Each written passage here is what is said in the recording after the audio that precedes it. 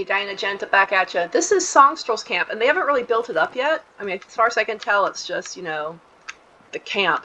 Um, but it's a super nice location. I can totally see why they picked it here.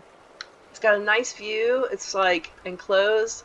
Got cultists for neighbors. Then gets way too far. Um, this cool thing is here. Yeah, it's a... Is that the Lucky Hole Mine? There? No, I don't know what that is. Um, yeah, it's a cool place. I can see why they why they claimed it. Like built-in swimming hole. Okay. That's all I got. Y'all have a good day.